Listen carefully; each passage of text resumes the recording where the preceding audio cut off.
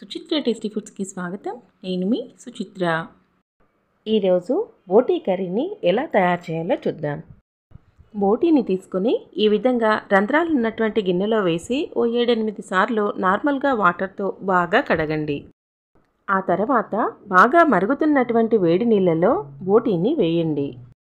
బోటీ కర్రీని వండడం కంటే కూడా క్లీన్ చేసుకోవడమే చాలా పెద్ద ప్రాసెస్. ముందుగా బాగా క్లీన్ చేసుకోకపోతే అసలు కర్రీ టేస్ట్ అనేది రాదు. బాగా మరుగుతున్నటువంటి వేడి నీళ్ళలో ఉప్పు వేసి దాదాపుగా పదిహేను నుండి ఇరవై నిమిషాల దాకా ఉడికించండి. అలా ఉడికిస్తేనే అందులో ఉన్నటువంటి స్మెల్ అంతా కూడా పోతుంది. బాగా ఉడికించుకున్నటువంటి ఈ ముక్కలన్నింటినీ కూడా ఒక చిల్లుల గరిటెని తీసుకొని ఈ విధంగా బయటికి తీసి వేయండి. డైరెక్ట్గా మాత్రం వాటర్ని వంపొద్దు. అందులో ఉండే చెత్తంతా కూడా వాటర్లో అడుగులో పేరుకుంటుంది.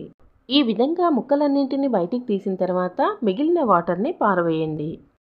స్టవ్ పైన ప్రెషర్ కుక్కర్ని పెట్టి అందులో దాదాపుగా నాలుగు టీ స్పూన్ల దాకా నూనెని వేయండి. నూనె వేడెక్కిన తర్వాత సన్నగా తరిగి పెట్టుకున్నటువంటి ఒక ఉల్లిపాయ తరుగుని వేయండి. ఉల్లిపాయల్ని మరీ దూరగా వేయించకుండా కేవలం పచ్చివాసన పోయేంత వరకు మాత్రమే ఉడికించిన తర్వాత సన్నగా తరిగి పెట్టుకున్నటువంటి ఓ మూడు టమాటాలని వేయండి. టమాటాతో పాటుగా కరివేపాకును కూడా వేసి వేయించిన తర్వాత ఒక స్పూన్ అల్లం వెల్లుల్లి పేస్ట్ని కొద్దిగా కొత్తిమీరని వేసి పచ్చివాసన పోయేంత వరకు దూరగా వేయించండి. ఆ తర్వాత కొద్దిగా పసుపుని వేయండి. పసుపుని కొద్దిసేపు వేయించిన తర్వాత క్లీన్ చేసి పెట్టుకున్నటువంటి బోటీ ముక్కలన్నింటినీ కూడా అందులో వేయండి. బోటీ కర్రీని ఎప్పుడు వండినా సరే ఈ విధంగా ముక్కలన్నింటినీ కూడా ముందుగా బాగా వేడి నీటితో క్లీన్ చేసుకున్న తర్వాతనే కర్రీని ప్రిపేర్ చేయండి. లేదంటే అస్సలు బాగుండదు. ముక్కలన్నింటినీ వేసిన వెంటనే టేస్ట్కి సరిపడా కారం పొడిని కొద్దిగా గరం మసాలా పౌడర్ని ఇంకా ధనియాల పొడిని కూడా వేసి బాగా కలపండి. ఓ నిమిషం పాటు బాగా కలుపుకున్న తర్వాత టేస్ట్కి సరిపడా ఉప్పుని వేయండి. బోటీ కర్రీకి ఉప్పు చాలా తక్కువగా పడుతుంది. బోటీ ముక్కలు ముందుగా చాలా పెద్దగా కనిపిస్తాయి. అదే ఉడికించిన తర్వాత చాలా తక్కువగా అవుతాయి. అందుకని ముందుగానే ఉప్పుని ఎక్కువగా వేయకుండా కాస్త ఉడికిన తర్వాతనే వేయండి. ఈ విధంగా బాగా కలిపిన తర్వాత మూత పెట్టి ఒక ఐదు నిమిషాల పాటు మంటని మీడియం ఫ్లేమ్లో ఉంచి ఉడకనివ్వండి.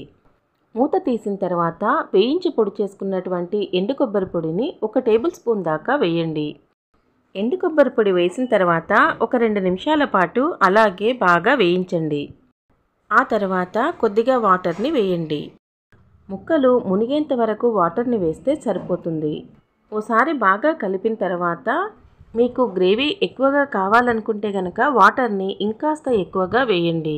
బోటీ కర్రీ ఉడకడానికి దాదాపుగా ఎనిమిది నుండి పది విజిల్స్ దాకా పడతాయి.